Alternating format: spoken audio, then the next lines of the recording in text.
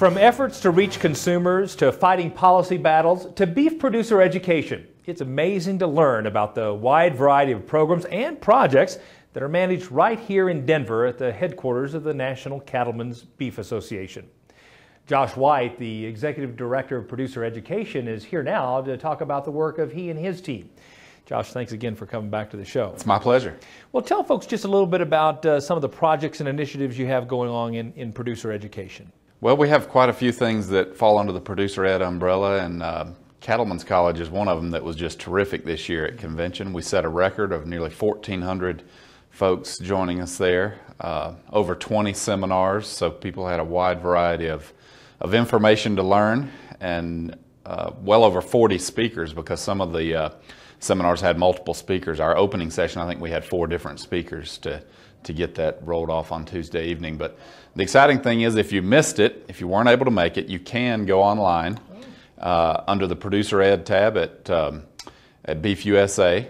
You can find all the the links that'll get you to recordings of all those seminars. There is a small fee, but uh, I think you'll find it very valuable for all the uh, different seminars you'll have access to.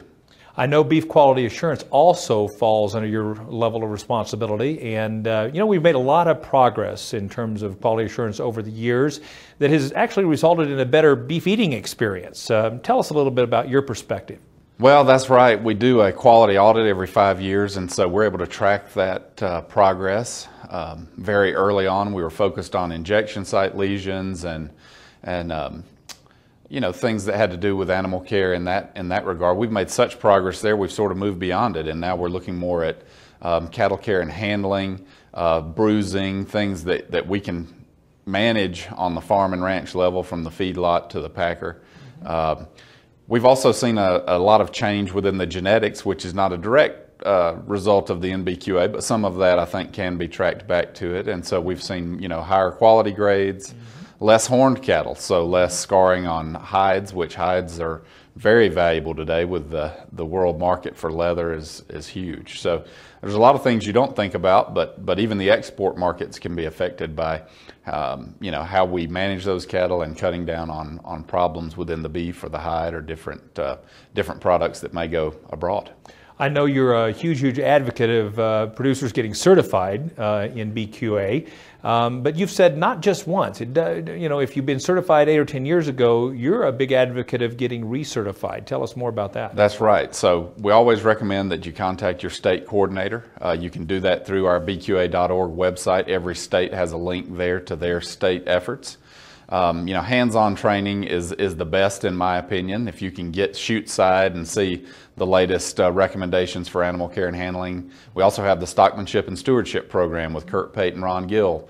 Uh, going around the country and talking about low stress handling, maybe uh, loading some cattle up in a semi, or, or, I mean, all kinds of demonstrations available at the local level. But if you can't make that happen, um, Boehringer Ingelheim has sponsored free online training through the um, uh, Beef Cattle Institute at animalcaretraining.org. Again, really all you have to remember is bqa.org and you can find all the links there.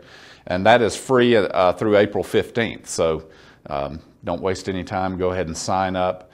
And, and like you mentioned, most states, the way it works is you're certified for two to three years off of that, that certification. Sure. Um, but you do need to go back either through a continuing ed module that some states offer or maybe through a retraining.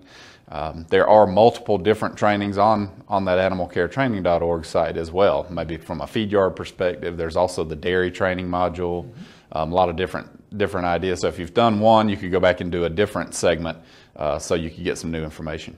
And tell us, uh, I've heard a little bit about the Transportation Symposium. Maybe you can tell folks what that is and how people can get involved at home. That's right. I mentioned bruising earlier as, a, as an issue for our industry uh, that, we've, that we've looked at. There are a lot of care and handling uh, issues around transportation. Mm-hmm. Of course, the whole BQA system is, is based on a hazard analysis kind of, of protocol that goes back to the military days, the HACCP principle, where we're looking for areas where we have an opportunity for a problem and loading cattle, hauling cattle, unloading cattle. There are a lot of points where uh, we have human animal interaction, we have technology and, and facilities design, and a lot goes into all that. So um, there has been some great work done in the past through the uh, Master Cattle Transporters uh, program. Uh, it's been several years ago now that Texas took the lead in that and producing that, and that is available online too for a training.